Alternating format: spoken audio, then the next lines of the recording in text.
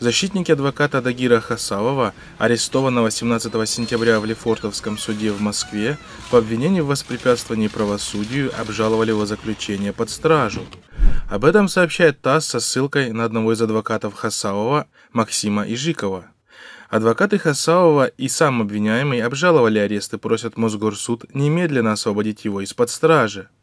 Кроме того, в Европейский суд по правам человека также вскоре идет жалоба, и не одна.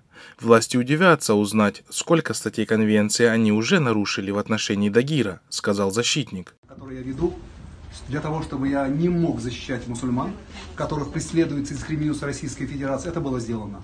Других... Сам Хасавов и другие независимые эксперты связывают фабрикацию уголовного дела с его активностью по защите мусульман в России от преследования спецслужб.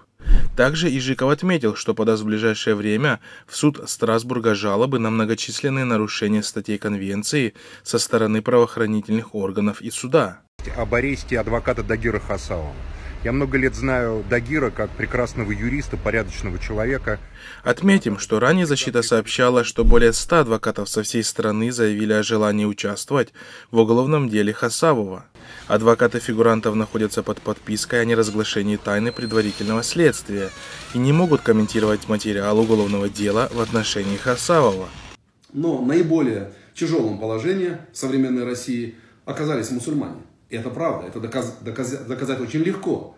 Напомним, известный адвокат Дагир Хасавов защищал преследуемых мусульман от произвола правоохранителей, в том числе имам Хатыба, одной из московских мечетей Махмуда Велитова, обвиняемых по делам Хезбут Тахрир и других мусульман. Было несправедливо с точки зрения закона тем э, тяжелым последствиям, которые... Кроме того, адвокат Хасавов выступал защитником интересов семьи жестоко убитой в Подмосковье пятилетней таджикской девочки – Хувайды Тиллазада.